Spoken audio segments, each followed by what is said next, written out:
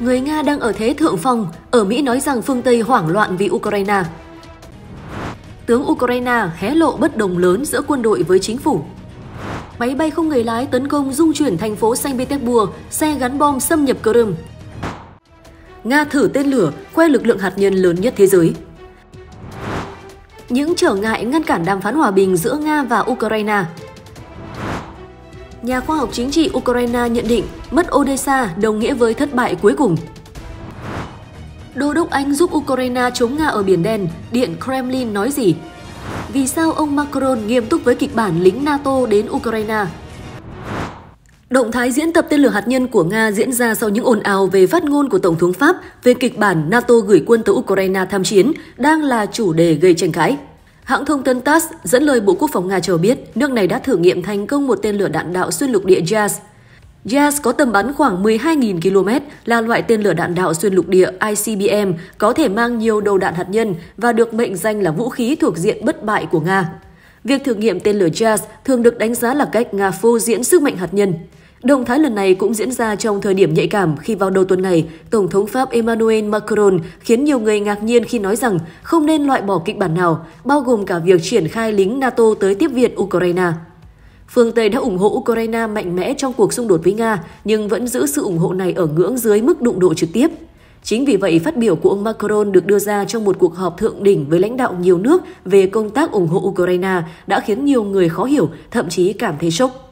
Phía Nga đã phản ứng gay gắt trước phát biểu trên, nhấn mạnh nếu NATO gửi đính tới Ukraine, đó sẽ là lời tuyên chiến với Nga. Tổng thống Nga Putin trong thông điệp liên bang vừa qua thậm chí khẳng định rằng đó là kịch bản dẫn tới một cuộc chiến tranh hạt nhân. Nga có lực lượng hạt nhân đa dạng nhất thế giới. Chủ đề hạt nhân cũng được báo chí Nga khai thác mạnh. Điển hình là bản tin của RIA Novosti. Đài này dẫn lời một tư lệnh Mỹ khẳng định Washington cần hiện đại hóa lực lượng hạt nhân nhằm đối phó với Nga. Nga là thách thức nghiêm trọng đối với vị thế thống trị về mặt quân sự của Mỹ. Ông Cotton nhấn mạnh Moscow đang sở hữu kho vũ khí hạt nhân vượt xa Mỹ và còn tích cực hiện đại hóa kho vũ khí ấy. Theo vị tướng Mỹ, hiện nay Nga và Trung Quốc đang nhanh chóng cải thiện vị thế trước Mỹ và đồng minh trên nhiều lĩnh vực. Ông lưu ý một phát biểu của Tổng thống Nga Putin vào hồi tháng 2 cho rằng lực lượng hạt nhân chiến lược của Nga đã gần như được hiện đại hóa hoàn toàn. Nga đang sở hữu kho vũ khí hạt nhân lớn nhất và đa dạng nhất. Ông Cotton nói, lưu ý tới các loại tàu ngầm mới cũng như tên lửa ICBM Samad của Nga, vốn có khả năng mang đầu đạn hạt nhân. Tướng Mỹ lo ngại vì Nga có kho vũ khí hạt nhân lớn nhất thế giới. Tướng Mỹ cấp cao bày tỏ lo ngại vì đối thủ hàng đầu của họ là Nga đang sở hữu kho vũ khí hạt nhân lớn nhất thế giới. Nga đặt ra một thách thức nghiêm trọng đối với sức mạnh quân sự của Washington. Ông Cotton cho rằng Moscow đang sở hữu kho vũ khí hạt nhân lớn hơn Washington và đang tích cực hiện đại hóa kho vũ khí này. Trong bài phát biểu trước Ủy ban Lực lượng Vũ trang Thượng viện Mỹ, tướng Cotton cho hay, cùng với Trung Quốc, Nga đang nhanh chóng cải thiện vị thế của mình trước Mỹ và các đồng minh trong nhiều lĩnh vực. Ông đồng thời cho biết thêm rằng tốc độ của những thay đổi này đang gia tăng và nhanh hơn nhiều so với tốc độ đã thấy vài năm trước. Nga đang sở hữu kho vũ khí hạt nhân lớn nhất và đa dạng nhất so với bất kỳ quốc gia nào, ông Cotton nói, đặc biệt đề cập đến tên lửa đạn đạo xuyên lục địa Samad của Moscow và các tàu ngầm hoàn toàn mới có khả năng mang vũ khí hạt nhân. Ông kêu gọi các thượng nghị sĩ Mỹ tạo điều kiện nâng cấp nhanh chóng kho vũ khí của Mỹ, đồng thời nhấn mạnh điều cực kỳ quan trọng là chúng ta phải tiếp tục hiện đại hóa bộ ba hạt nhân của chúng ta với tốc độ nhanh chóng. Nga và Mỹ là hai cường quốc quân sự có nhiều vũ khí hạt nhân nhất trên thế giới. Cảnh báo của ông Cotton đến trong bối cảnh căng thẳng giữa Moscow và Washington đang leo thang chưa từng có kể từ thời kỳ chiến tranh lạnh vì cuộc xung đột ở Ukraine. Tuần qua, Tổng thống Putin cho rằng những hành động và phát ngôn nguy hiểm trong chính sách đối ngoại của phương Tây kéo theo nguy cơ xung đột hạt nhân và hủy hoại nền văn minh. Mỹ sau đó chỉ trích cảnh báo của Tổng thống Putin về nguy cơ chiến tranh hạt nhân là vô trách nhiệm. Thưa quý vị và các bạn, sau 2 năm kể từ khi Nga mở chiến dịch quân sự đặc biệt, xung đột Nga-Ukraine vẫn chưa có hồi kết, triển vọng hòa đàm vẫn tiếp tục mờ mịt. Báo Kiev Independent đã phân tích những lý do chính khiến Nga và Ukraine khó ngồi vào bàn đàm phán hòa bình giao cản bởi hiến pháp Nga và Ukraine. Nga đã sát nhập bán đảo Crimea vào tháng 3 năm 2014. Tới tháng 9 năm 2022, Moscow liên tục tuyên bố sát nhập Donetsk, Lugan, Kherson và Zaporizhia, bất chấp sự phản đối của chính quyền Kiev. Hiến pháp Nga cũng đã được thay đổi theo vùng lãnh thổ mới. Như vậy, không kể đến luật pháp quốc tế, các vùng đất này đã được quy định trong luật pháp liên bang và cơ cấu nhà nước của Nga. Tương tự, hiến pháp Ukraine cũng chắc chắn sẽ không cho phép họ từ bỏ vùng đất này. Thậm chí các đề xuất về tình trạng đặc biệt tạm thời tại Donbass cũng đã không được Quốc hội Ukraine thông qua. Lý do từ phe cực hữu trong nước các nhóm cực hữu tồn tại trong bộ máy chính trị và xã hội tại cả Nga và Ukraine. Họ phản đối mọi sự thỏa hiệp chính trị và quân sự với đối phương. Bất chấp mọi tổn thất mà quốc gia phải gánh chịu trong trận chiến, các phe phái này cho rằng mọi hành động thỏa hiệp với đối phương đều bị coi là phản quốc. Đây là một trong những thách thức lớn mà chính quyền Moscow lẫn Kiev phải hóa giải nếu như muốn tính đến việc đàm phán hòa bình. Khúc mắc xoay quanh bán đảo Crimea Bán đảo Crimea tạo ra một thế lưỡng nan về chiến lược cho Điện Kremlin. Nếu muốn cuộc xung đột kết thúc, có khả năng Moscow sẽ phải từ bỏ quyền kiểm soát bán đảo, nơi được xem là hạt nhân chính trị trong chiến lược của Nga, đồng thời là nơi neo đậu của hạm đội Biển Đen. Nếu cố gắng giữ vùng lãnh thổ biệt lập này, cách xa các vùng đất khác mà họ kiểm soát, Nga sẽ phải hy sinh lợi thế về mặt kinh tế. Tuy nhiên, bán đảo Crimea không phải là một công cụ thỏa hiệp tiềm năng. Trong các cuộc đàm phán, khu vực này được xem là một phần của vấn đề, chứ không phải là phương tiện để giải quyết vấn đề. Tiếp theo, Ukraine chưa tạo đủ sức ép quân sự với Nga. Theo ý kiến từ giới quân sự, Kiev buộc phải giành được một phần ưu thế tương đối trước khi có ý định bước vào vòng đàm phán với Moscow. Chỉ những cú sốc về mặt quân sự mới có thể giữ chân người Nga tại ván bài thỏa hiệp. Thuyết xung đột chín mùi trong quan hệ quốc tế đưa ra quan điểm đến một thời điểm nào đó, các cuộc đàm phán sẽ bắt đầu phát huy tác dụng. Vậy nên áp dụng vào cục diện chiến sự thực tế, Kiev sẽ cần phải đợi cho đến khi Moscow chịu đủ áp lực để chấp thuận khởi động tiến trình đàm phán, và đó là đàm phán về một hiệp định bền vững chứ không mang tính thỏa hiệp như thỏa thuận Minsk. Sự hỗ trợ của các đồng minh là điều kiện tiên quyết để có thể duy trì cho lực lượng Ukraine đi tới mục tiêu này. Có thể nói một Kiev vững vàng trên mặt trận quân sự sẽ là một trong những yếu tố quan trọng nhất để thuyết phục Moscow đàm phán ngừng bắn. Nhà khoa học chính trị Ukraine Vadim Karasev trong một cuộc phỏng vấn cho biết phương Tây không cho phép Ukraine mất kiểm soát Odessa, bởi điều này đồng nghĩa với một chiến thắng hoàn toàn dành cho Nga. Nhà khoa học chính trị Karasev lưu ý rằng hiện tất cả đều tin chắc rằng kịch bản tồi tệ đó sẽ không xảy ra. Tuy nhiên, Ukraine cần phải suy nghĩ nghiêm túc về các tình huống xấu nhất. Trước đó, Phó Chủ tịch Hội đồng An ninh Nga Dmitry Medvedev tuyên bố đã đến lúc Odessa phải trở về nhà và Nga đã chờ đợi điều đó từ lâu. Ông Medvedev còn cho rằng Moscow có thể mở rộng quy mô tấn công và đưa quân trở lại Kiev để đạt mục tiêu chiến dịch quân sự đặc biệt. Theo ông, lý do khiến Nga cần đưa quân trở lại để kiểm soát Kiev là thành phố này có nguồn gốc Nga nhưng lại đang bị kiểm soát bởi bộ máy quốc tế chuyên chống Nga do Mỹ dẫn đầu. Vào hồi tháng 1 năm 2024, tờ Sky News của Anh bình luận, Tổng thống Nga Putin gần đây đã gọi Odessa là thành phố của Nga. Điều này có thể báo hiệu những kế hoạch dài hạn nhằm kiểm soát toàn bộ bờ Biển Đen. Đây là vùng có vị trí địa chiến lược quan trọng và cả hai bên đều tham vọng. Sky News cho rằng trong vấn đề Odessa, thời gian dường như đang đứng về phía Tổng thống Nga Putin. Ở phương Tây đang bắt đầu xảy ra sự hoảng loạn vì tình hình tồi tệ của lực lượng vũ trang Ukraine ở mặt trận.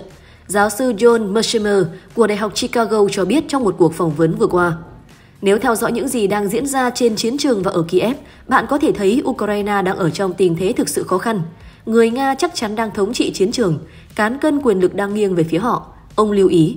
Theo giáo sư, cả phương Tây và chính Ukraine bắt đầu hiểu rằng thất bại của Kiev có thể xảy ra khá sớm và do đó nhiều đồng minh của nước này bắt đầu hoảng sợ.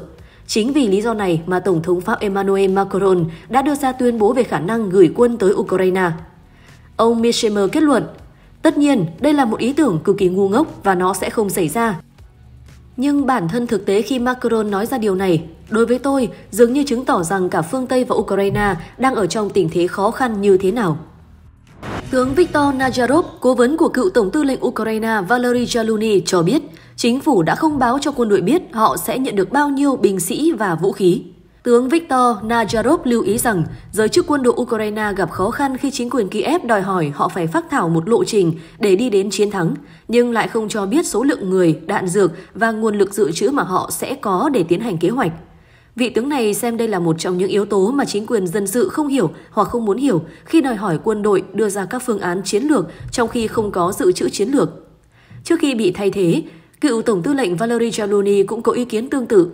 Trong một bài viết cho CNN vào hồi đầu tháng 2, tướng Jaluni đã chỉ trích sự không hoàn hảo của khung pháp lý, cũng như hiện tượng độc quyền một phần trong ngành công nghiệp quốc phòng mà ông cho rằng đã dẫn đến tắc nghẽn sản xuất và làm trầm trọng thêm sự phụ thuộc vào viện trợ vũ khí nước ngoài. Trong bài báo tháng 11 viết cho tờ The Economist, cựu chỉ huy cấp cao cũng cho rằng cuộc xung đột đang ở trạng thái bế tắc khi cả hai bên đều có khả năng công nghệ để biết bên kia đang làm gì, khiến rất khó có tiến triển trên chiến trường.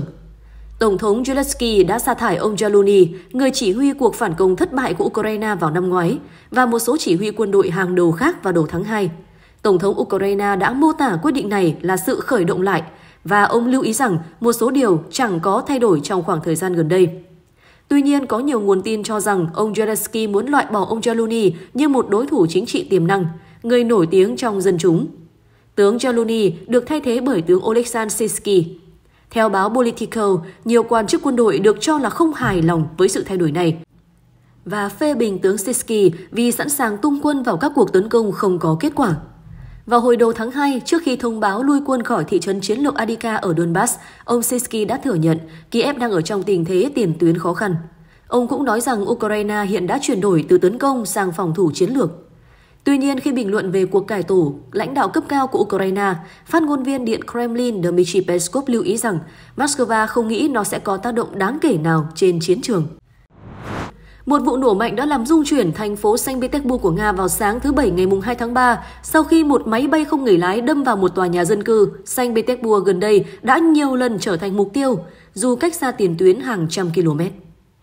Theo hãng tin địa phương Fontanka, vụ nổ xảy ra ở phía bắc thành phố và mặt tiền của một khu dân cư bị hư hại nghiêm trọng. Các kênh Telegram, Baza và Mash cho biết không có thương vong.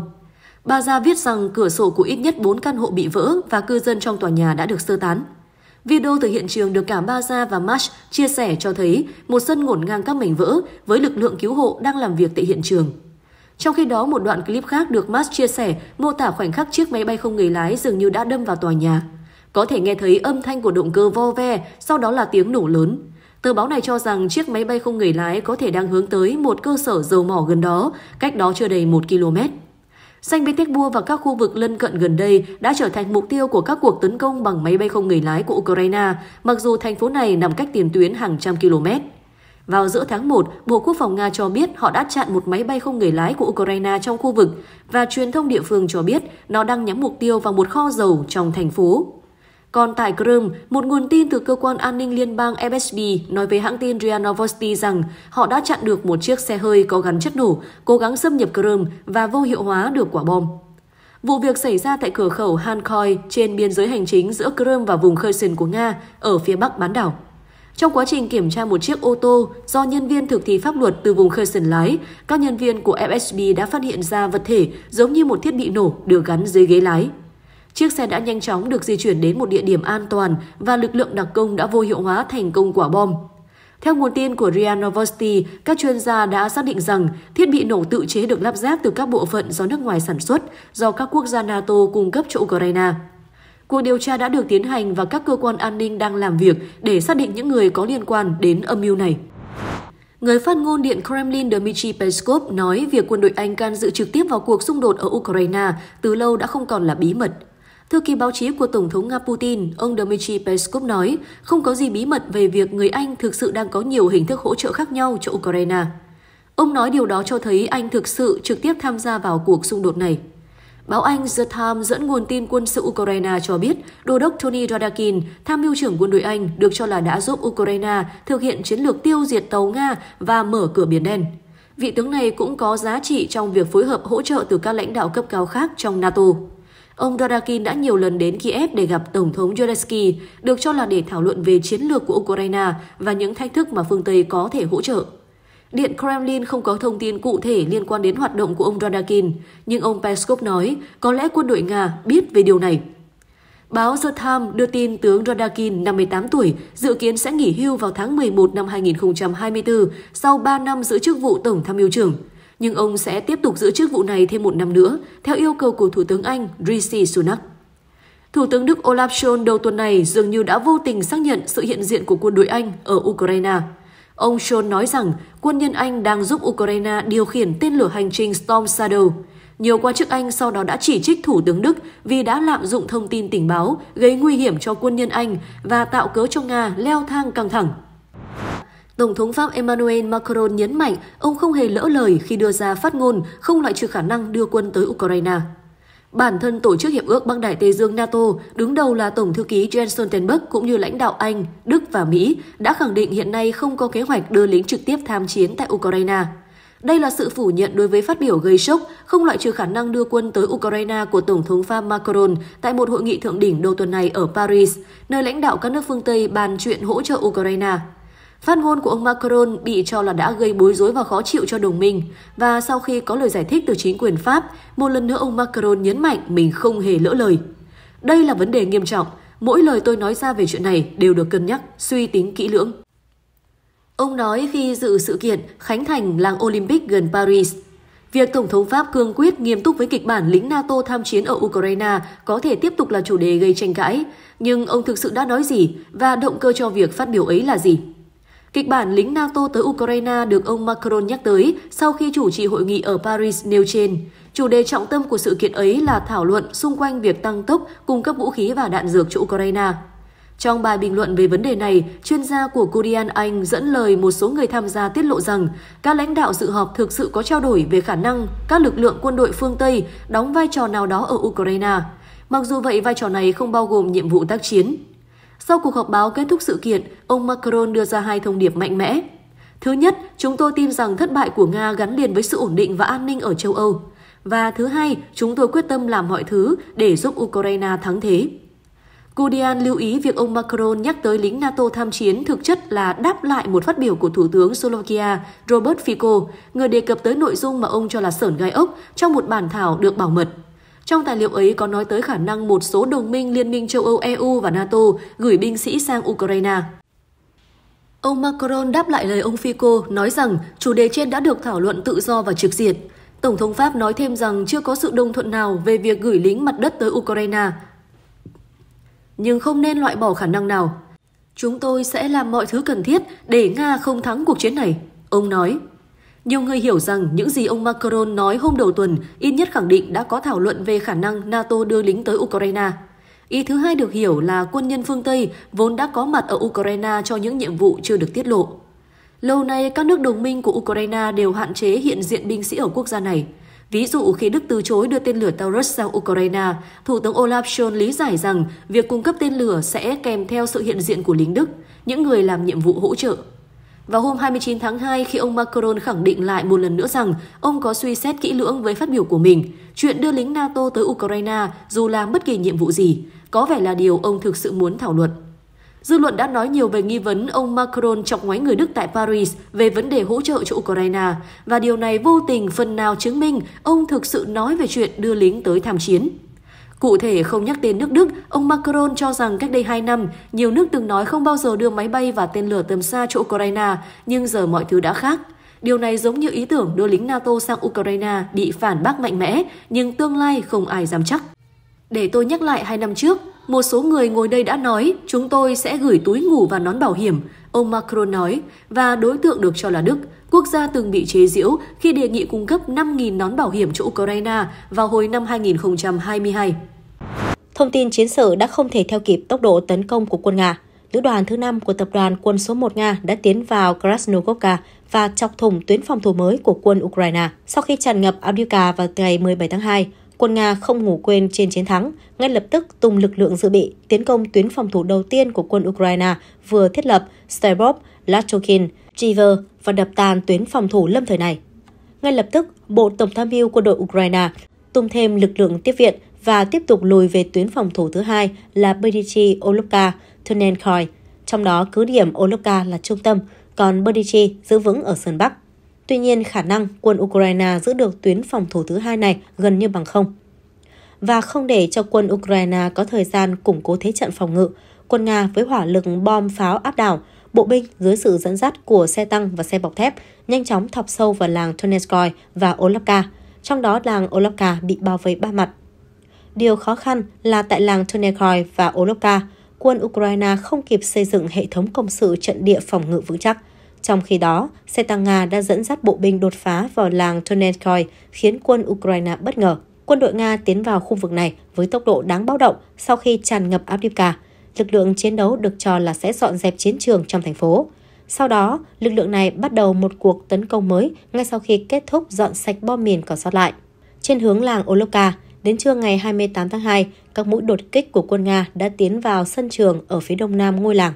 Mọi nỗ lực của quân Ukraine nhằm trì hoãn cuộc tấn công quân Nga, dù chỉ một chút, đều vô ích.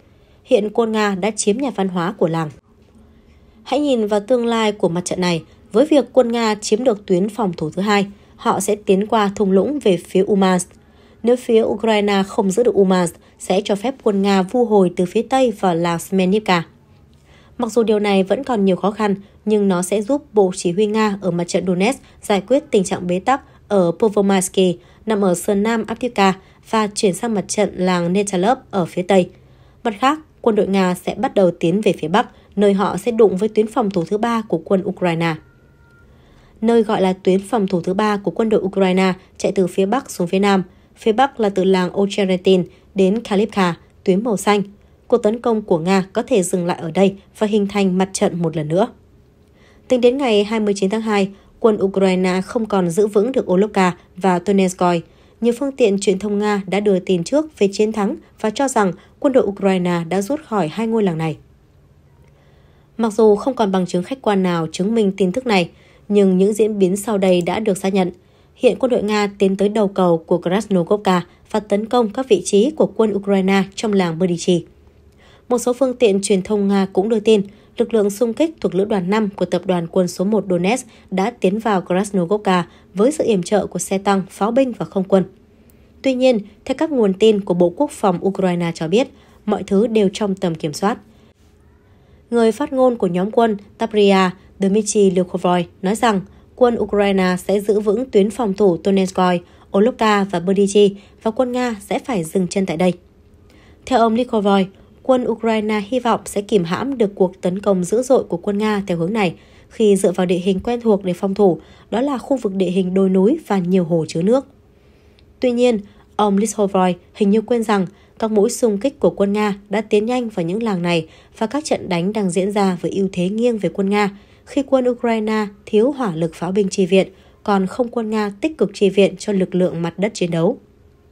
Bộ Tổng tham mưu quân đội Ukraine sáng ngày 29 tháng 2 cho biết họ đã đẩy lùi các cuộc tấn công của quân Nga ở làng Olovka và Tonenki, khiến quân Nga bị thiệt hại nặng nề. Vì vậy, chúng ta chỉ có thể chờ đợi thông cáo của Bộ Quốc phòng Nga về vấn đề này. Thông báo này chắc chắn sẽ xuất hiện sau khi hợp nhất các đơn vị quân đội Nga tại làng Tonetskoy, Olovka và Berdyansk. Có thể thấy rõ những thay đổi đang diễn ra trên chiến trường Ukraine đã diễn ra quá nhanh, thậm chí tin tức chiến trường có khi không thể theo kịp tốc độ tấn công của quân đội Nga.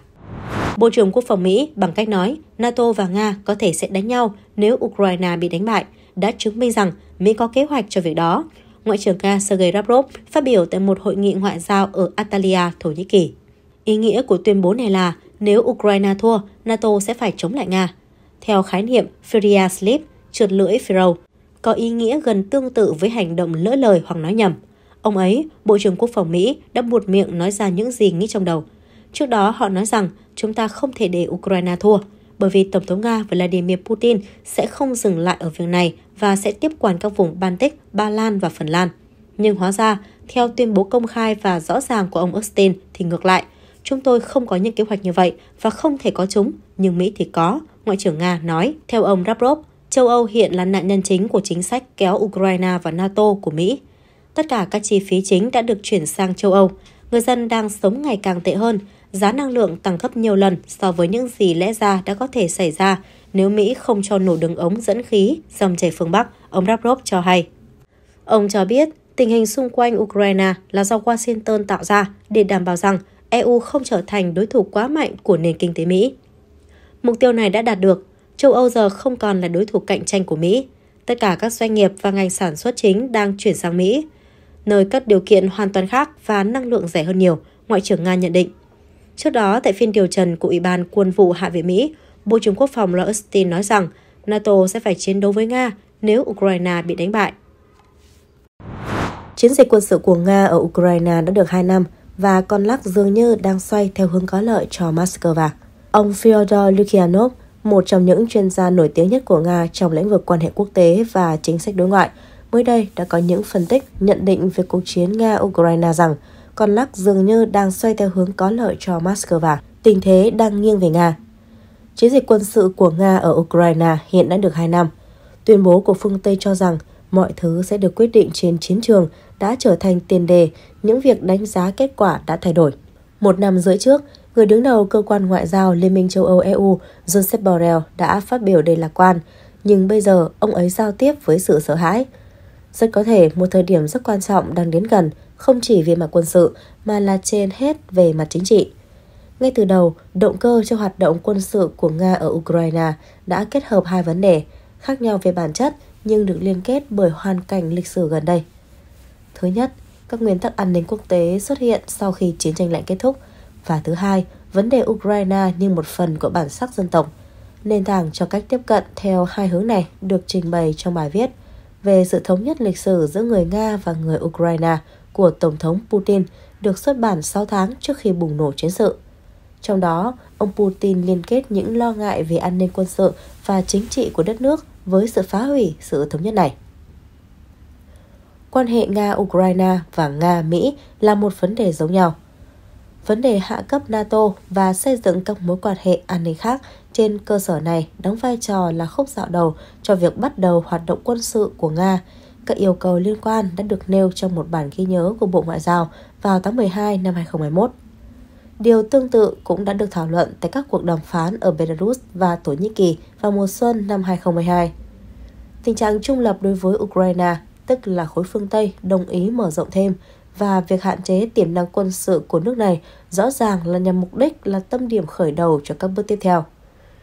Tổng thống Putin cũng nói điều tương tự trong cuộc phỏng vấn gần đây với nhà báo Mỹ Tucker Carlson – Chiến tranh có thể đã kết thúc ở Istanbul nếu người ngoài không ngăn cản các bên đạt được thỏa thuận vào thời điểm đó. Điều này một lần nữa cho thấy rằng mục tiêu ban đầu được xây dựng dựa trên tình hình chung của châu Âu chứ không phải lợi ích lãnh thổ. Tuy nhiên, tình hình đã thay đổi trong hai năm qua và đây là thành phần động lực thứ hai đã xuất hiện. Trong hai lời kêu gọi của Tổng thống Vladimir Putin vào tháng 2 năm 2022, ngay trước khi bắt đầu chiến sự, người ta nhấn mạnh vào sự bất công lịch sử và sự không phù hợp của việc chia một quốc gia thành công dân của hai quốc gia khác nhau và tính nhân tạo của các đường biên giới được vẽ ra. Do kế hoạch ban đầu của chiến dịch, một sự thay đổi mạnh mẽ và nhanh chóng về tình hình chiến lược quân sự của Ukraine không được thực hiện và nó kéo dài, nên vấn đề kiểm soát lãnh thổ và vượt qua chiến tuyến trở thành vấn đề chính và việc sáp nhập các vùng lãnh thổ mới vào Liên bang Nga vào mùa thu năm 2022 đã loại trừ khả năng đạt được những thỏa thuận đáng lẽ có thể được thảo luận vào mùa xuân năm đó, trở lại các vị trí đã chiếm giữ trước khi bùng nổ chiến sự toàn diện. Điệp khúc thường xuyên là bất kỳ cuộc đàm phán nào kể từ bây giờ sẽ phải tính đến thực tế trên thực địa và vì những điều này liên Việc Paris nêu ý tưởng điều quân tới hỗ trợ Kiev không chỉ đơn thuần là ngăn chặn chiến thắng của Moscow. Trong mấy ngày qua, đột nhiên Tổng thống Pháp Emmanuel Macron đóng vai trò tâm điểm gây chú ý ở châu Âu khi đề xuất thành lập một cơ cấu đồng minh mới để hỗ trợ Ukraine trong xung đột là Liên minh tên lửa và thậm chí còn đồng ý với khả năng cử lực lượng NATO tới Ukraine. Vì sao đột nhiên Tổng thống Pháp lại có ý tưởng gây bất lợi như vậy? Bài viết của chuyên gia Sergei Mazetsky trên tờ Người đưa tin Reposter của Nga đã lý giải điều này dưới góc nhìn địa chính trị nhiều hơn. Nhìn từ bên ngoài, những gì đang xảy ra xung quanh Ukraine thoạt nhìn có vẻ khá kỳ lạ. Lúc đầu, sau Maidan năm 2014, tất cả mọi quyết định ở Kiev đều do các nhà dân chủ Mỹ điều hành. Nhưng giờ đây, Washington đang chìm trong các vấn đề chính trị nội bộ phức tạp ở chính Hoa Kỳ. Sau khi Nga mở chiến dịch quân sự đặc biệt, nước láng giềng Ba Lan bắt đầu khẳng định vai trò đồng minh chính của Liên minh hỗ trợ Ukraine. Tiếp theo đó, Thủ tướng Anh Rishi Sunak đã cố gắng chính thức hóa quan hệ bên trên với Kiev khi chính quyền London trở thành đồng minh đầu tiên ký thỏa thuận song phương về hợp tác kỹ thuật quân sự với Ukraine. Pháp trở thành ngọn cờ đầu trong liên minh hỗ trợ Ukraine. Thế nhưng giờ đây, đột nhiên Tổng thống Pháp Emmanuel Macron đưa ra hàng loạt tuyên bố cực kỳ nghiêm túc trong việc hỗ trợ Ukraine. Những tuyên bố này cho thấy sự leo thang cả về quy mô lẫn tính chất của sự can dự của Paris vào cuộc xung đột. Điều đáng chú ý là chỉ một năm trước, khi trả lời câu hỏi của độc giả tờ báo Le Parisien, Ông đã nói về mục tiêu của Paris trong cuộc xung đột Ukraine chỉ là ngăn chặn Nga chiến thắng. Đây là một trong những nỗi ám ảnh của chúng tôi ngay từ đầu. Đó là lý do tại sao chúng tôi không tham gia cuộc xung đột ở Ukraine. Nhiệm vụ của chúng ta là giúp Ukraine tồn tại bằng tất cả sức mạnh của mình, không để Nga giành chiến thắng, không mở rộng cuộc xung đột này. Khi đó, ông Macron đã nói như vậy. Thế nhưng hai ngày trước, Ông chủ điện Elysee đã đề cao vai trò của Pháp trong cuộc xung đột Nga-Ukraine, đồng thời nêu lên quan điểm cứng rắn hơn của Paris. Chúng tôi sẽ làm mọi thứ có thể để ngăn chặn Nga giành chiến thắng trong cuộc chiến này. Chúng tôi tin rằng sự thất bại của Nga là cần thiết cho an ninh và ổn định ở châu Âu, nhà lãnh đạo Pháp tuyên bố rõ ràng. Sự khác biệt giữa ngăn cản chiến thắng và đánh bại là rất rõ ràng.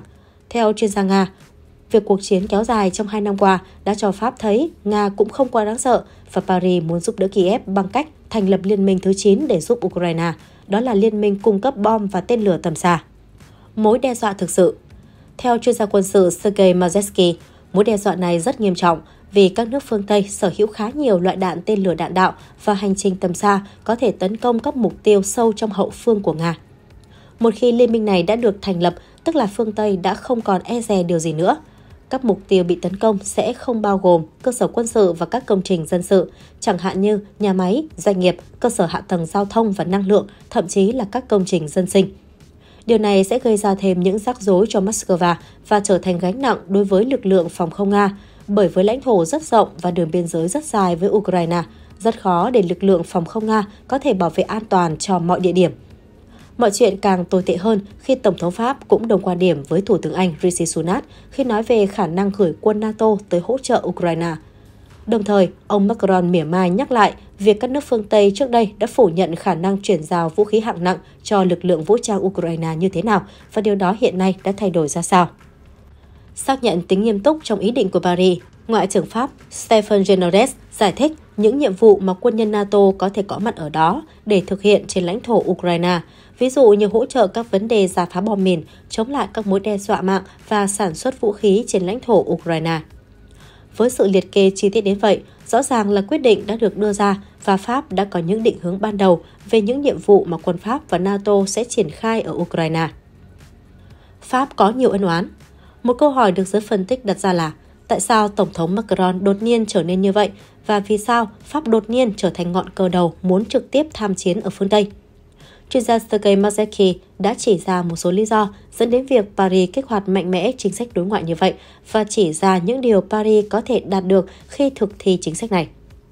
Thứ nhất, chuyên gia Nga cho rằng Nga đã làm suy yếu vị thế của Pháp ở châu Phi.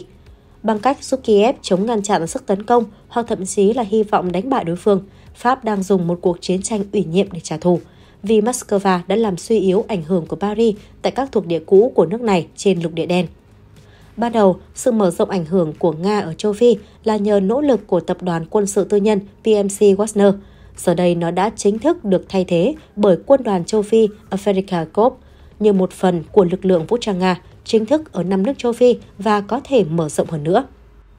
Không chỉ đánh sập ảnh hưởng của Paris, Moscow còn thâu tóm lĩnh vực hạt nhân dân dụng ở châu Phi, dẫn đến việc nguồn nguyên liệu dồi dào uranium giá rẻ dành cho các nhà máy điện hạt nhân của Pháp sẽ không tự nhiên xuất hiện. Thứ hai, mong muốn gia tăng vị thế lãnh đạo châu Âu. Theo chuyên gia Nga, bằng cách bắt đầu thành lập một liên minh tên lửa, Paris đang tìm cách đảm nhận vai trò lãnh đạo mới của lục địa châu Âu. Theo giới phân tích, điều này là không khó do các vấn đề kinh tế của Đức và việc Berlin tỏ ra miễn cưỡng leo thang xung đột một cách không cần thiết với Nga. Như vậy, đế chế thứ tư ở Tây Âu chỉ vị thế lãnh đạo của Berlin đối với Liên minh châu Âu có thể được thành lập xung quanh Cộng hòa thứ năm Pháp chứ không phải Cộng hòa Liên bang Đức. Thứ ba, làm suy giảm vị thế của Nga, Anh và Thổ Nhĩ Kỳ ở Caucasus. Trong thời gian qua, Armenia đang có thái độ không hài lòng với Nga trong vấn đề tranh chấp với Azerbaijan đối với vùng lãnh thổ Nagorno-Karabakh, mà đỉnh điểm là việc Iran đã đình chỉ việc tham gia Liên minh quân sự tổ chức Hiệp ước An ninh Tập thể CSTO do Moscow đứng đầu. Không chỉ như vậy, Iran đã quay sang Paris để tìm kiếm sự hỗ trợ quân sự nhằm đối đầu với các nước láng giềng Azerbaijan. Pháp cam kết giúp Armenia cải thiện năng lực phòng không bằng việc bán Barada và thỏa thuận cung cấp tên lửa phòng không Mitchell trong tương lai. Sự hỗ trợ tích cực về mặt kỹ thuật quân sự của Paris dành cho Armenia trong bối cảnh nước này rút khỏi vòng ảnh hưởng của Nga có thể nhằm mục đích không nhằm chỉ chống lại Moscow, mà còn chống lại liên minh lịch sử là Thổ Nhĩ Kỳ và Anh đứng đằng sau Azerbaijan. Vì vậy, Pháp đang cố gắng mở rộng phạm vi ảnh hưởng ở sân sau của Nga và chiếm giữ một vị thế địa chính trị còn trống có tầm quan trọng chiến lược ở Caucasus. Để kết luận, chuyên gia Sergei Masetsky cho rằng không nên đánh giá thấp vai trò của Paris trong cuộc xung đột ở Ukraine.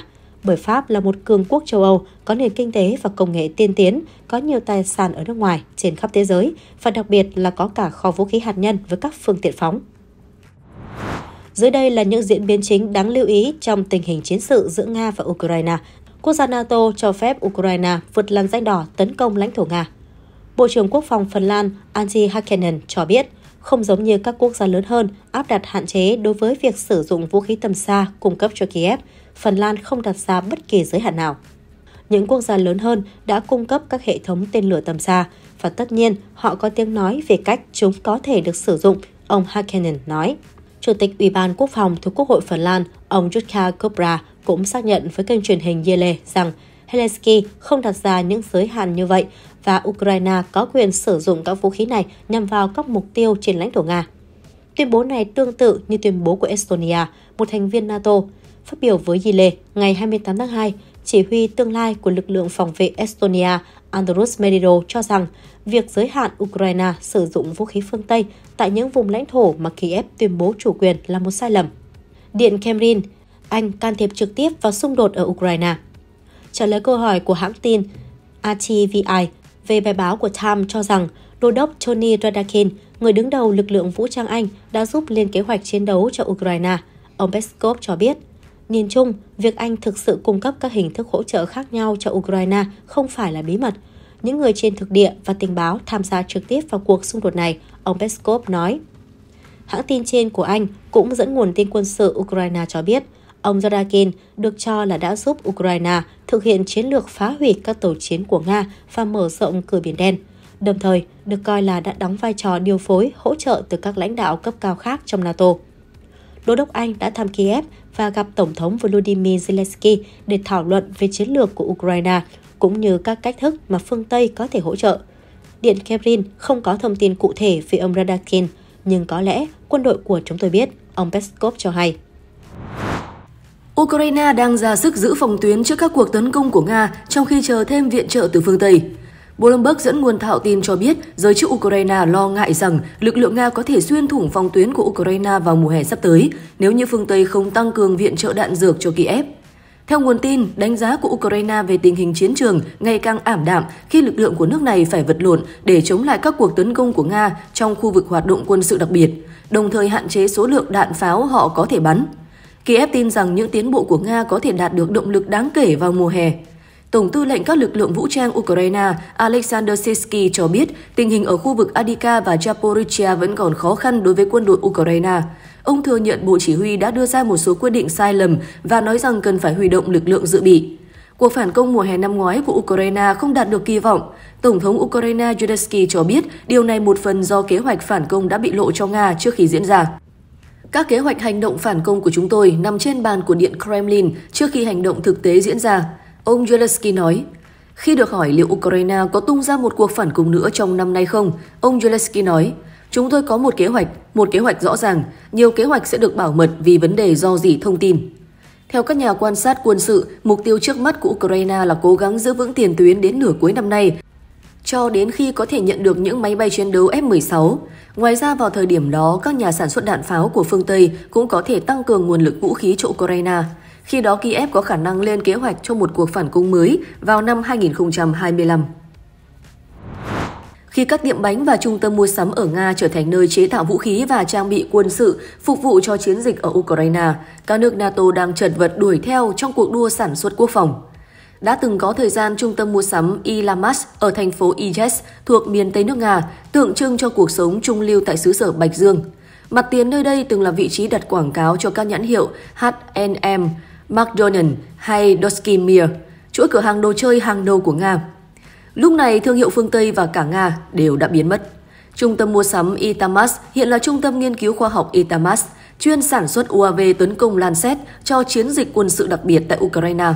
Và đây chỉ là một trong nhiều địa điểm dân sự trở thành cơ sở sản xuất vũ khí kể từ khi chiến sự bùng nổ. Tất cả chỉ là phân nổi của cuộc động viên kinh tế mà nước Nga hy vọng sẽ dứt khoát thay đổi tình thế chiến sự tại Ukraine.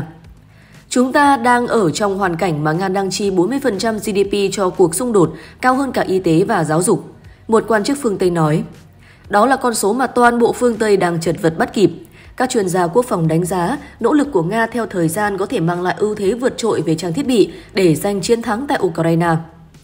Để phục vụ cho chiến dịch quân sự đặc biệt, nền kinh tế Nga đã có bước chuyển đổi, đặt quốc phòng vào trung tâm. Theo dự thảo ngân sách 2024-2026 mà Bộ Tài chính Nga công bố vào hồi tháng 10 năm 2023, con số này sẽ là 10,78 nghìn tỷ rúp, tương đương với 109 tỷ USD vào năm 2024, tương đương 29,4% tổng chi tiêu ước tính là 33,66 nghìn tỷ rúp. Trong khi đó, vào năm 2021, một năm trước khi xung đột bùng nổ, chi tiêu quốc phòng của Nga chỉ chiếm 14,4% tổng chi tiêu. Theo báo cáo trước Quốc hội vào tháng 12 năm 2023, Bộ trưởng Quốc phòng Nga Sergei Shoigu cho biết, Nga đã sản xuất 1.530 xe tăng, 2.518 xe chiến đấu bọc thép. Những con số này phản ánh mức tăng sản lượng xe tăng 560% kể từ tháng 2 năm 2022, theo ông Shoigu. Sản lượng xe chiến đấu bộ binh và xe bọc thép chở quân lần lượt tăng 360% và 350%. Dù vậy, mức sản xuất này mới chỉ đủ để bù vào những gì Nga tổn thất trên chiến trường thay vì mở rộng quân đội. Về đạn pháo, vốn đóng vai trò thiết yếu trong cuộc xung đột Ukraine, các quan chức phương Tây hồi tháng 1 nói với tờ New York Times rằng Nga đang trên đà sản xuất 2 triệu quả mỗi năm, gấp đôi ước tính ban đầu của phương Tây. Tác động tới chiến trường là rất rõ ràng. Lúc này, Nga đã giành lại ưu thế về hỏa lực mà họ có vào đầu chiến sự. Theo Tổng thống Zelensky, trong cuộc tấn công kéo dài 5 ngày vào cuối tháng 12 năm 2023, Nga đã bắn 500 tên lửa và UAV vào Ukraine. Nghiên cứu do Viện các quân chủng thống nhất Hoàng gia Russia của Anh công bố trong tháng 1 cho thấy Ukraine đã bắn 7.000 quả đạn pháo mỗi ngày trong cuộc phản công mùa hè, nhiều hơn so với mức 5.000 quả của Nga. Nhưng vào đầu năm nay, lực lượng Nga đã bắn 10.000 quả, gấp 5 lần so với Ukraine. Điều đó khiến Ukraine rơi vào thế bất lợi đáng kể. Thiếu đạn dược là một trong những lý do khiến thành trì Adika của Ukraine thất thủ vào tháng 2 sau thời gian dài trụ vững. Chúng tôi vẫn chưa thấy ngưỡng giới hạn của Nga ở đâu. Mark Risic, Phó Giám đốc Bộ phận Hoạch định Chính sách của Bộ Quốc phòng Estonia nói. Về cơ bản, một phần ba ngân sách quốc gia của họ được dành cho sản xuất quân sự và cho chiến sự ở Ukraine, nhưng chúng ta không biết khi nào nó sẽ thực sự tác động đến xã hội. Vì thế mà khá là khó nói khi nào họ sẽ dừng lại. Ông Risic nói, các nhà máy sản xuất đạn dược, phương tiện và trang bị quân sự ở Nga đang hoạt động suốt ngày đêm, thường theo ca 12 tiếng bắt buộc. Nhu cầu về nhân lực vì thế cũng tăng mạnh, qua đó cải thiện thu nhập của công nhân. Trong tháng 2, ông Putin tuyên bố 520.000 việc làm mới đã được tạo ra trong khu liên hợp công nghiệp quân sự và lĩnh vực này về tổng thể đang sử dụng khoảng 3,5 triệu người Nga, tương đương với 2,5% dân số. Nhà máy thuốc súng Kajan, một trong những nhà máy lớn nhất đất nước, đã tuyển dụng hơn 500 công nhân trong đợt tuyển dụng tháng 12 năm 2023, khiến mức lương trung bình hàng tháng tại đây tăng hơn gấp 3 lần, từ 25.000 rúp lên 90.000 rúp. Theo giám đốc nhà máy Alexander Lisis, Quảng cáo tuyển dụng của nhà máy này cho biết công nhân sẽ làm ca đêm từ nửa đêm đến 8 giờ ngày hôm sau và sẽ không bị gọi nhập ngũ. Nhà máy cũng phải tuyển dụng nhiều người từ các tỉnh lân cận, qua đó cho thấy tình trạng thiếu nhân lực ở nước Nga. Tình trạng ấy càng được nêu bật qua thực tế là chủ lao động cạnh tranh nguồn nhân lực với các nhà máy lại có thể chính là quân đội Nga với mức thu nhập hứa hẹn hơn 200.000 rúp mỗi tháng cho những người đăng ký chiến đấu. Đó có thể là mức thu nhập đổi đời ở nhiều tỉnh của nước Nga. Chiến tranh đã dẫn đến sự tái phân bổ của cải chưa từng có, trong đó tầng lớp nghèo hơn được hưởng lợi từ chi tiêu của chính phủ cho khu liên hợp công nghiệp quân sự. Gudian dẫn lời Dennis Volkov, giám đốc trung tâm Levada, một công ty nghiên cứu xã hội học và thăm dò dư luận ở Moscow. Công nhân tại nhà máy quân sự và gia đình binh sĩ chiến đấu ở Ukraine đột nhiên có nhiều tiền hơn để chi tiêu. Thu nhập của họ đã tăng lên đáng kể, ông Volkov nói. Kết quả một cuộc thăm dò của Levada cho thấy 5 đến 6% những người trước đây không có đủ tiền để mua hàng tiêu dùng như tủ lạnh thì nay đã chuyển lên tầng lớp trung lưu. Theo phân tích của Moscow Times về dữ liệu lao động của Nga vào tháng 11 năm 2023, thợ máy và thợ hàn trong các nhà máy sản xuất trang bị quân sự của Nga đang kiếm được nhiều tiền hơn nhiều vị trí văn phòng như là nhà quản lý và luật sư. Tình hình gần như hoàn toàn tương phản ở phương Tây, ít nhất là ở những khía cạnh quan trọng nhất với Ukraine, như là sản xuất đạn pháo. Đến tháng 2 năm 2023, một năm sau khi chiến sự xảy ra, sản lượng của châu Âu ước tính chỉ đạt 300.000 viên đạn pháo mỗi năm. Vào tháng 11 năm 2023, Bộ trưởng Quốc phòng Đức Boris Pistorius thừa nhận EU sẽ không thể đáp ứng cam kết của EU cung cấp cho Ukraine một triệu quả đạn pháo vào tháng 3 năm nay. Liệu Nga có thể vượt trội hơn phương Tây về mặt chế tạo tàu ngầm hoặc tàu khu trục hay không? Không. Nhưng liệu họ có thể vượt qua phương Tây về sản xuất đạn pháo hay không? Có. Dmitry Aperovich thuộc tổ chức tư vấn Silverado Policy Accelerator cho biết. Nga đã rất nhanh chóng chuyển vào trạng thái sản xuất thời chiến, trong khi phương Tây chưa làm được điều này. Điều đó dễ hiểu vì chúng ta không đang ở trong chiến sự và cuộc xung đột này không mang ý nghĩa sống còn đối với chúng ta như đối với Ukraine. Ông Dmitry nói, theo Telegraph, sản lượng quốc phòng của Nga hiện nay khó có thể cung cấp đủ trang thiết bị để nước này tiếp tục tổng tấn công trong năm 2024. Nguyên nhân là hai năm trước đó, Nga đã hứng chịu nhiều tổn thất. Nhưng có nhiều dấu hiệu cho thấy Điện Kremlin đang suy nghĩ xa hơn vào cuối năm nay. Họ đang nói về việc huy động ngành công nghiệp quốc phòng trong 3 năm tới. Điều đó có nghĩa là họ đang tính đến việc giao tranh trong ít nhất 3 đến 4 năm nữa. Telegraph dẫn lời một người trong ngành quốc phòng. Điều này có nghĩa là nếu phương Tây không hành động, Ukraine có thể thua cuộc. Ngoài lý do chính trị, một yếu tố khiến phương Tây phản ứng chậm là do vấn đề kinh tế. Theo ông Aperovic, trong khi Nga vẫn duy trì ngành công nghiệp vũ khí phần lớn do nhà nước kiểm soát, Anh và phần lớn quốc gia phương Tây dựa vào cơ chế hợp tác với các công ty quốc phòng tư nhân vốn có trách nhiệm thu lợi nhuận cho cổ đông. Sẽ mất một vài năm để quá trình ấy hiệu quả về kinh tế và có lãi. Vì vậy mà hoàn toàn dễ hiểu khi các nhà thầu quốc phòng không chịu thiệt thòi, đặc biệt là khi liên quan đến các loại đạn dược như đạn pháo. Ông nói, Họ biết rằng quân đội Mỹ và quân đội NATO không phụ thuộc nhiều vào pháo binh, vì vậy nếu chiến sự Ukraine sớm kết thúc và hy vọng là thế, họ lo ngại rằng sẽ không có nhiều khách hàng cho các dây chuyền sản xuất tăng cường. Ông Aperovich chỉ ra. Cảnh sát Pháp đã bắt giữ 66 người trong cuộc biểu tình của nông dân ở đại lộ Champs-Élysées, trung tâm Paris. Nông dân Pháp đã sử dụng máy kéo và những kiện cỏ khô trong cuộc biểu tình ở đại lộ Champs-Élysées, trung tâm Paris vào ngày 1 tháng 3 theo giờ địa phương. Cuộc biểu tình nhanh chóng khiến cho giao thông tắc nghẽn trên đại lộ nổi tiếng gần Khải Hoàn Môn, cách văn phòng của Tổng thống Emmanuel Macron, Điện Elysee, một đoạn khá ngắn. Những người biểu tình dương biểu ngữ trên đại lộ, tuyên bố hành động của họ nhằm cứu nền nông nghiệp Pháp. Nhiều nông dân đã biểu tình trong những tuần qua để phản đối các quy định khắt khe về bảo vệ môi trường, sự cạnh tranh từ hàng nhập khẩu giá rẻ từ bên ngoài Liên minh châu Âu và thu nhập thấp. Nông dân Arsene Marchand cho biết khoảng 100 đồng nghiệp của ông đã tập trung từ 3 giờ sáng một cách hòa bình và tuân thủ luật pháp. Ông Mason cho biết nông dân đã đặt vòng hoa để tưởng nhớ những người đồng nghiệp đã phải tự tử vì khủng hoảng tài chính. Nhà nước chưa bao giờ lắng nghe chúng tôi, ông Mason tuyên bố. Hiệp hội Nông dân Pháp cho biết hành động của họ nhằm cứu nền nông nghiệp Pháp. Chúng tôi muốn hành động nhanh chóng để cứu 45% trang trại của chúng tôi đang gặp khó khăn về tài chính, Hiệp hội Nông dân Pháp nêu rõ. Nông dân Pháp tiếp tục chặn đường, đốt lốp xe và bao vây các siêu thị, nói rằng họ cần nhiều biện pháp hơn, ngay cả sau khi chính phủ hứa sẽ cải cách. Tổng thống Nga Putin đã gửi thông điệp cứng rắn với phương Tây khi đề cập đến nguy cơ chiến tranh hạt nhân trong thông điệp liên bang.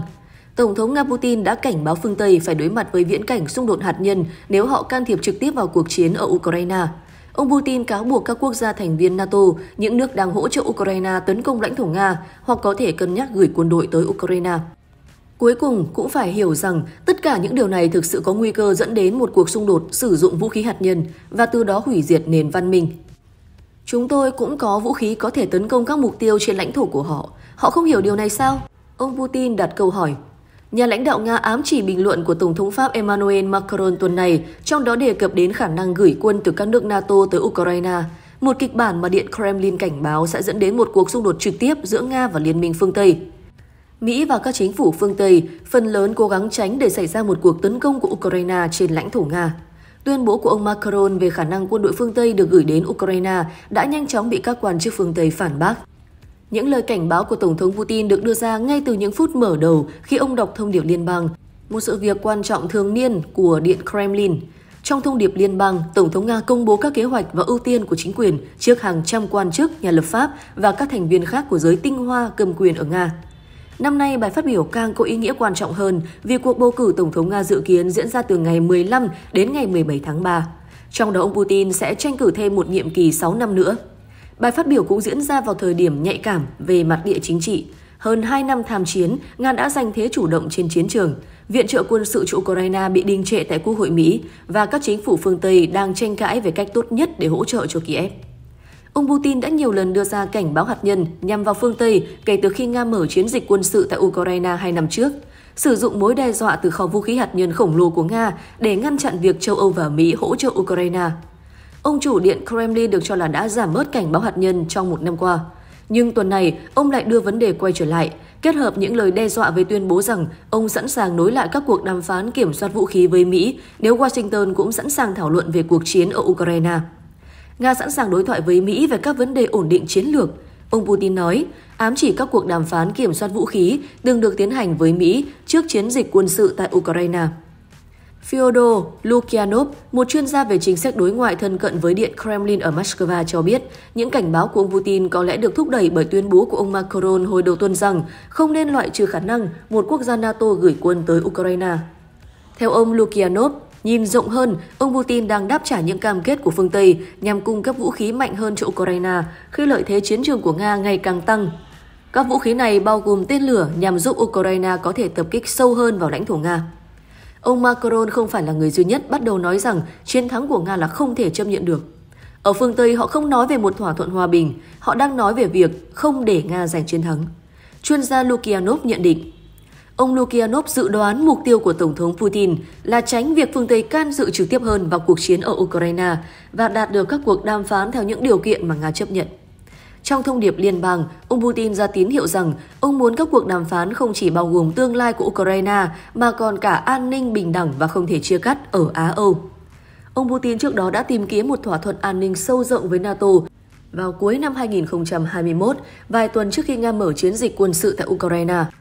Vào thời điểm đó, các quan chức phương Tây đã bác bỏ đề xuất của Nga vì cho rằng điều đó sẽ hệ thống hóa phạm vi ảnh hưởng của Nga trên toàn khu vực Liên Xô cũ. Về phần mình, Nhà Trắng đã bác bỏ nỗ lực của ông Putin nhằm đặt Mỹ vào trung tâm của bất kỳ cuộc đàm phán nào liên quan tới cuộc chiến ở Ukraine. Các quan chức Mỹ nói rằng Washington chưa và sẽ không đàm phán thay mặt cho Ukraine. Những lời đe dọa của ông Putin đối với phương Tây chỉ chiếm vài phút trong bài phát biểu kéo dài hơn 2 giờ đồng hồ. Phần lớn bài phát biểu tập trung vào các vấn đề cơ bản trong nước như đường cao tốc, chăm sóc sức khỏe, cơ sở hạ tầng và giáo dục. Nhưng ông Putin cho rằng tất cả những ưu tiên trong nước đó đều phụ thuộc vào sự thành công của cuộc xung đột ở Ukraine mà Điện Kremlin gọi là chiến dịch quân sự đặc biệt. Ông không đưa ra thông tin chi tiết mới nào về mục tiêu của cuộc chiến và cách cuộc chiến có thể kết thúc. Thay vào đó, ông chỉ nói rằng Nga muốn tiêu diệt tận gốc chủ nghĩa phát xít. Callum Fraser, nhà nghiên cứu an ninh Nga và Á Âu tại Viện Nghiên cứu An ninh và Quốc phòng Hoàng gia Anh Russi, Việc ông Putin gọi cuộc xung đột ở Ukraine là cuộc chiến đã cho thấy sự thay đổi trong tuyên bố của nhà lãnh đạo Nga. Điều này cũng phù hợp với những thay đổi gần đây của Tổng thống Putin khi ông nhận định cuộc xung đột này là cuộc đối đầu giữa Nga và phương Tây ở Ukraine. Điều này có liên quan đến những tín hiệu gần đây của ông Putin về việc sẵn sàng đàm phán, nhưng chỉ thông qua lập trường của ông về cách hệ thống quốc tế nên vận hành. Trong đó chỉ có các cuộc thảo luận giữa các cường quốc khu vực, Nga và Mỹ, và loại Ukraine ra khỏi bàn đàm phán. Chuyên gia Fraser nhận định việc Tổng thống Putin đề cập đến sự leo thang liên quan đến vũ khí hạt nhân và tuyên bố chúng tôi cũng có vũ khí để tấn công các mục tiêu trên lãnh thổ của họ là một cách tinh tế để nhằm thăm dò phản ứng của phương Tây khi ông đang tìm cách lợi dụng sự mất đoàn kết của phương Tây sau tuyên bố của Tổng thống Macron về việc đưa quân đến Ukraine. Tổng thống Nga Putin cho biết nước này đã đưa tên lửa siêu vật âm Zircon vào tác chiến. Đây là loại vũ khí mà theo Moscow là không thể đánh chặn. Tổng thống Putin cho hay Nga đã sử dụng tên lửa siêu vật âm Zircon trong chiến dịch quân sự đặc biệt ở Ukraine. Tên lửa siêu vật âm phóng từ trên biển Zircon đã được sử dụng trong chiến đấu, ông nói. Đây là lần đầu tiên Nga xác nhận đã sử dụng tên lửa Zircon trong tác chiến. Trước đó Ukraine tuyên bố có bằng chứng cho thấy Nga lần đầu tập kích Kiev bằng Zircon. Ông Oleksandr Ruvin, Giám đốc Viện Nghiên cứu Khoa học về Khám nghiệm Pháp y Kiev, công bố hình ảnh các mảnh vỡ tên lửa thu được tại thủ đô Kiev sau cuộc không kích của Nga hồi giữa tuần trước. Ông cho biết chuyên gia của cơ quan này đã đánh giá và kết luận đây là bộ phận tên lửa siêu vật âm Zircon mới được Nga đưa vào biên chế. Các dòng tên lửa của Nga dùng chung nhiều linh kiện, nhưng mỗi loại đạn lại có những bộ phận riêng biệt. Dấu hiệu trên mảnh vỡ cho thấy chúng được sản xuất trong giai đoạn 2023-2024. Nghĩa là quả tên lửa Zircon gần như mới xuất xưởng, ông Oleksandr Rubin nói. Thiết bị điện tử đã bị phá hủy và không thể phân tích. Chúng tôi đang nghiên cứu thành phần kim loại và vật liệu cách nhiệt. Ông Rubin cho biết thêm.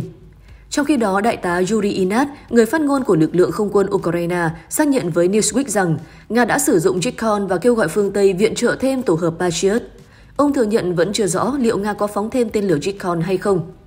Chuyên gia quân sự cho rằng nếu Nga tiếp tục phóng tên lửa Zircon sẽ đặt ra thách thức mới cho lưới phòng không Ukraine, vốn đang rơi vào tình trạng suy giảm do viện trợ từ phương Tây bế tắc. Tên lửa hành trình diệt hạm siêu thanh Zircon chính là vũ khí diệt hạm chủ lực thế hệ mới của Hải quân Nga. Chúng được quảng bá là sở hữu những đặc tính độc nhất vô nhị và vượt trội mọi đối thủ cạnh tranh.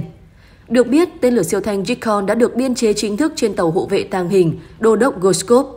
Loại tên lửa này được cho là có tầm bắn từ 400 tới 1.000 km.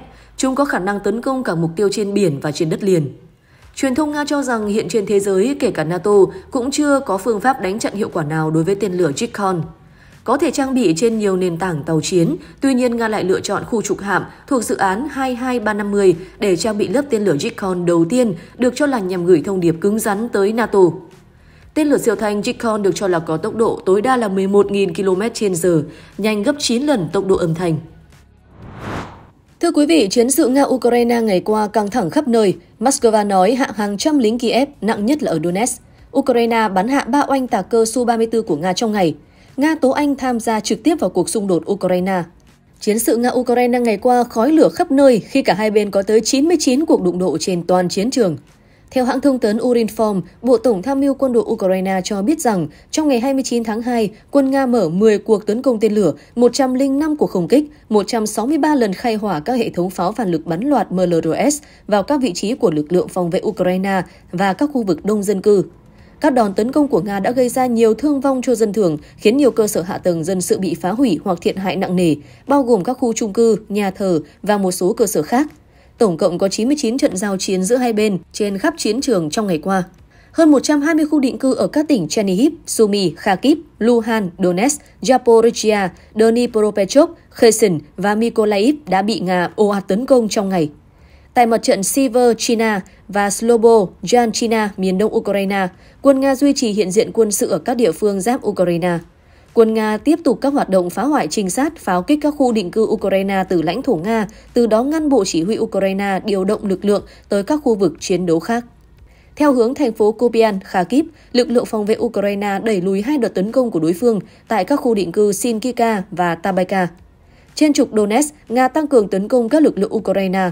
Theo Bộ Tổng tham mưu, quân Ukraine đẩy lùi được 84 cuộc tiến công của Nga, chủ yếu tại thành phố Liman, Bamut, Adika. Trong bản cập nhật tình hình chiến sự, Bộ Quốc phòng Nga cho biết rằng trong ngày qua, quân đội Ukraine đã mất hơn 490 binh sĩ chỉ riêng tại thành phố Adika, Donetsk. Ngoài ra, trong khi giao tranh, quân Nga còn phá hủy 7 xe tăng, 2 xe chiến đấu bộ binh, 4 xe chiến đấu bọc thép, 11 xe cơ giới, 3 khẩu pháo D-20, 2 khẩu pháo D-30, 1 khẩu pháo MSTAB và một hệ thống pháo cơ giới Vozika của các lực lượng Ukraine. Ngoài Adika, quân Nga cũng đẩy mạnh tấn công các khu vực khác ở Donetsk như các khu định cư Andreyevka, Barastovoi, Urojanoi và Ronopol. Các lực lượng Nga đã loại 705 binh sĩ Ukraine ra khỏi vòng chiến đấu, cũng như phá hủy hàng loạt khí tài hạng nặng của Ukraine, trong đó có xe bọc thép M113 do Mỹ sản xuất, bệ phóng pháo đa nòng Uragan, pháo tự hành Karab do Ba Lan sản xuất. Bộ Quốc phòng Nga cho biết các lực lượng Nga đã cải thiện vị trí chiến đấu của họ ở khu vực Kubian, hạ khoảng 50 binh sĩ Ukraine và 3 phương tiện chiến đấu của đối phương trong ngày qua. Tại tỉnh Kherson, lực lượng Nga hạ 50 binh sĩ, phá hủy 5 phương tiện cơ giới và một trạm tác chiến điện tử Bukovel AD của Ukraine. Trong ngày, lực lượng phòng không Nga bắn hạ 9 rocket của hệ thống pháo phản lực cơ động cao HIMARS do Mỹ sản xuất, hai quả bom lượn GDAM do Mỹ sản xuất và 93 máy bay không người lái UAV của Ukraine. Điện Kremlin, Anh can dự trực tiếp vào cuộc xung đột Nga-Ukraine. Phát ngôn viên Điện Kremlin ông Dmitry Peskov lên tiếng về thông tin rằng Anh đã giúp Ukraine lập kế hoạch chiến đấu. Trước đó, tờ Tham đưa tin rằng Đô đốc Tony Radakin, Tổng tham mưu trưởng quân đội Anh, được cho là đã hỗ trợ Ukraine trong việc đưa ra chiến lược loại bỏ các tàu Nga và giành quyền kiểm soát Biển Đen. Theo The Times, vị đô đốc này cũng được cho là đã từng đến thăm Kiev và gặp Tổng thống Ukraine, ông Zelensky, để thảo luận về chiến lược của Ukraine và những cách mà phương Tây có thể giúp đỡ. Bình luận thông tin trên, ông Peskov nói rằng sự can dự quân sự trực tiếp của Anh và Ukraine không phải là điều quá bất ngờ. Nói chung không có gì bí mật khi Anh thực sự cung cấp các hình thức hỗ trợ khác nhau cho Ukraine. Họ thực sự đã trực tiếp tham gia vào cuộc xung đột này, ông Peskov cho hay. Theo ông Peskov, Điện Kremlin không có thông tin cụ thể liên quan đô đốc Radakin, nhưng có lẽ quân đội của chúng tôi nắm rõ điều này. Cùng ngày, người phát ngôn viên Bộ Ngoại giao Nga Maria Zakharova nói rằng các cuộc tấn công của chính quyền Kiev nhằm vào hạm đội Biển Đen của Nga đều do các cơ quan đặc biệt của Anh chỉ đạo. Hiện Anh chưa bình luận về thông tin trên. Lực lượng tác chiến đặc biệt của quân đội Ukraine cho biết một số lượng chưa xác định các binh sĩ của họ đã thiệt mạng trong khi cố gắng đổ bộ vào một khu vực do Nga kiểm soát ở tỉnh Kherson, phía nam Ukraine. Trong tuyên bố vào ngày hôm qua, lực lượng tác chiến đặc biệt của quân đội Ukraine cho biết rằng các binh sĩ đã thiệt mạng khi nỗ lực giành chỗ đứng trên mũi đất Tenderip ở phía bắc Biển Đen, gần bờ biển Kherson, vốn do Nga nắm quyền kiểm soát. Các cơ quan thông tấn Nga dẫn lời giới chức Kherson do Moscow bổ nhiệm cho biết, lực lượng Nga đã tiêu diệt một nhóm phá hoại Ukraine khi họ đang cố gắng đổ bộ lên mũi Tenderip. Theo tuyên bố trên, những binh sĩ thiệt mạng thuộc Trung tâm Hàng hải số 73 của lực lượng tác chiến đặc biệt Ukraine, họ đã phải đối mặt với lực lượng đặc biệt của Nga khi nỗ lực đổ bộ lên mũi đất Tenderip. Để đảm bảo cho lực lượng chủ lực của đơn vị rút đi sau khi hoàn thành nhiệm vụ đặc biệt, các binh sĩ của Trung tâm Hàng hải số 73 đã chấp nhận đây là trận chiến cuối cùng của họ và hy sinh. Hành động chiến đấu anh dũng của các đơn vị tác chiến đặc biệt trên bộ, trên biển và sâu trong hậu phương của quân Nga là sự đóng góp hàng ngày của lực lượng tác chiến đặc biệt vào chiến thắng trước đối phương. Tuyên bố của lực lượng này cho biết, tuyên bố không nêu rõ số lượng binh sĩ thiệt mạng cũng như nơi họ hy sinh. Trung tâm hàng hải số 73 là một phần của lực lượng tình báo đặc biệt của lực lượng tác chiến đặc biệt Ukraine. Các binh sĩ thuộc trung tâm cùng với các đơn vị khác đã ngăn chặn thành công cuộc đổ bộ của lực lượng đổ bộ đường không của quân đội Nga tại sân bay Kubakini ở Mykolaiv vào giai đoạn đầu của chiến dịch quân sự đặc biệt của Nga. Ngoài ra, Trung tâm Hàng hải số 73 cũng đã tham gia chiến dịch giải phóng đảo Mini vào ngày 7 tháng 7 năm 2022. Đến đây 10 phút của bản tin thời sự quốc tế cũng đã hết. Cảm ơn quý vị và các bạn đã dành thời gian theo dõi tin tức từ chúng tôi. Kính chúc quý vị có thật nhiều sức khỏe, may mắn và hạnh phúc. Xin kính chào tạm biệt và hẹn gặp lại.